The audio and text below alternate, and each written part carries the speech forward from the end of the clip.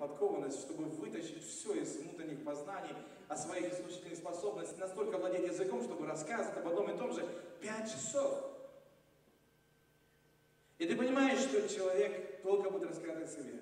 И я уже потом боялся к нему ходить. Я потом заходил, я уже смелее действовал. На второй минуте я перебивал, говорил ему об Иисусе. У нас даже такая, знаете, борьба была внутренняя. Но он все-таки любил, когда я приходил. Я не часто приходил, все-таки приходил. Он понимал, что я, я не робкого десятка. Ты понимаешь, что человек будет назорлив. Он хочет быть в центре внимания. И, может быть, свою болезнь использовал тем, чтобы все-таки всегда быть в центре внимания. Хвостун рассказывает о себе и для себя. Ему наплевать, что чувствуют другие люди. И он всегда тянет одеяло на себя. Он постоянно стремится выделить, выделиться, требовать внимания и одобрения от окружающих. Но постоянно в этом не хватает. Хвастовство – это привлечение к себе внимания. А внимание – это энергия, которая ему необходима для чего-то. Хвастовство – это способ раздувания своего чувства важности, чтобы утвердиться в обществе или в каком-то коллективе. И часто люди попадают в удочки независимость от этих вещей, и фактически потом не сводят на нет взаимоотношения в семье, церкви, в обществе, потому что хвостунов никто никогда не любит. Третье, признак хвостуна – это крайне низкая самооценка и неуверенность в себе.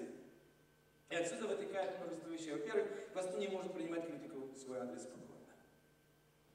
Попробуйте человека, который постоянно говорит, рассказывает о своих достоинствах, умениях, способностях, сделать ему замечание.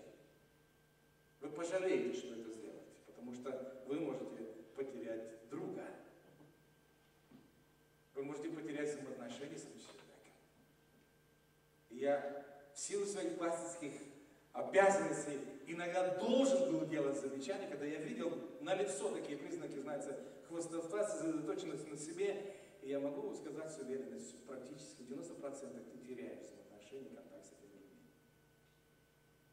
Потому что человек, он не может принимать критику своего спокойно. Он также сильно старается создать имидж успешного человека, потому что думает, что только в этом случае его будут любить и уважать. Всегда будет говорить о об своих успехах, всегда их приукрашивать. Всегда у него будет оборудование телевизионное вместо простого компьютера. У него будет что-то еще, понимаете, вместо элементарных вещей. Пастун настолько иногда увлекается этой позицией, что остановить его невозможно. Он потом сам начинает верить, что он обладает этими качествами или этими вещами.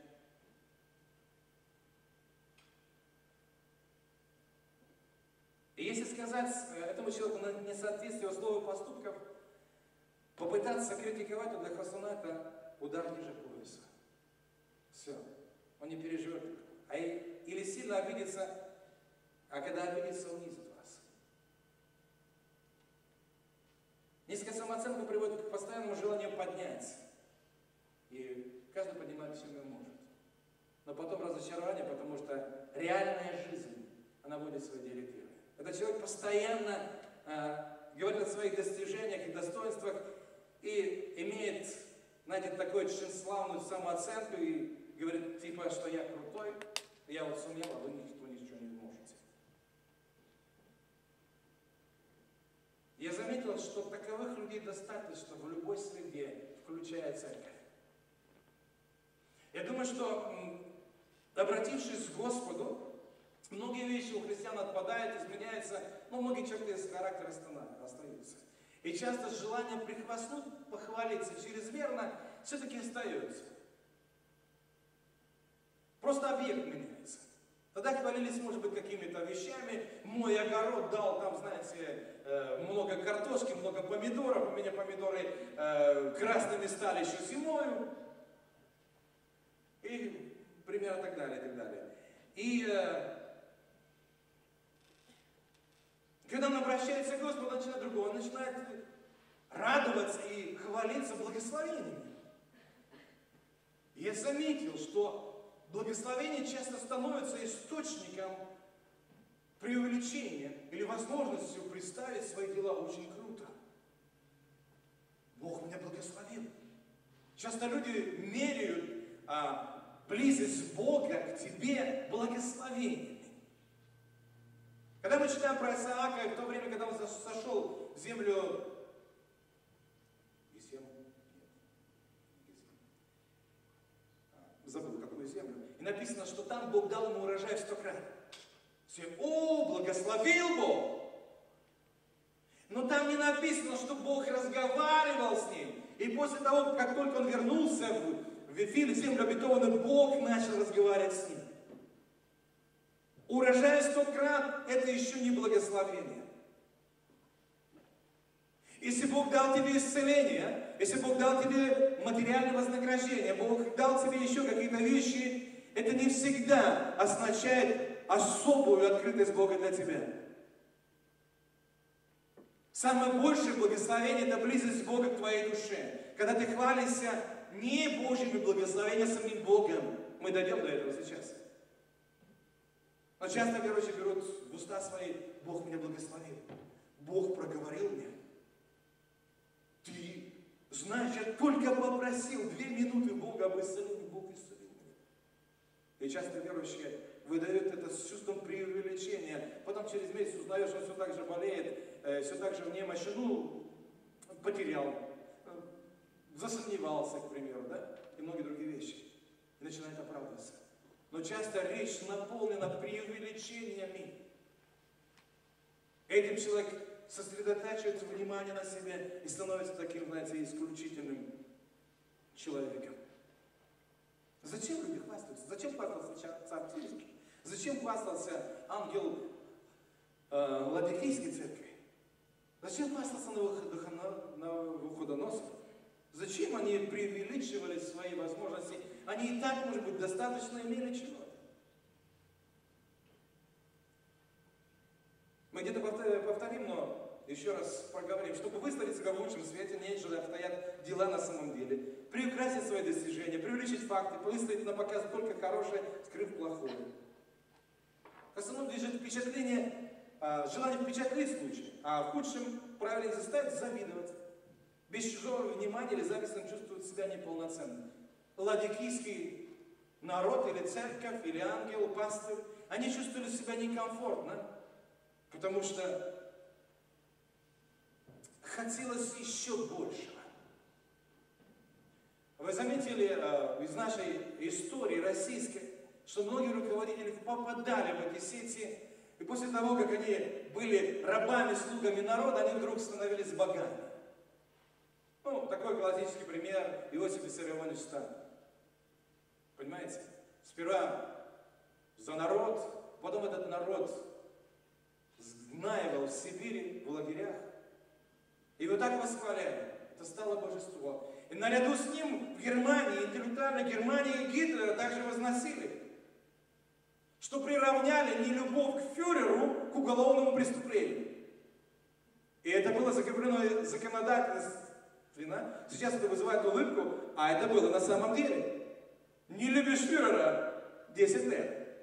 Не любишь Сталина 25. Сталин не мелочился. Знаете? Почему они хвалили? Почему они хотели э, приукрасить факты и скрыть плохое? Потому что они хотели, чтобы им завидовали.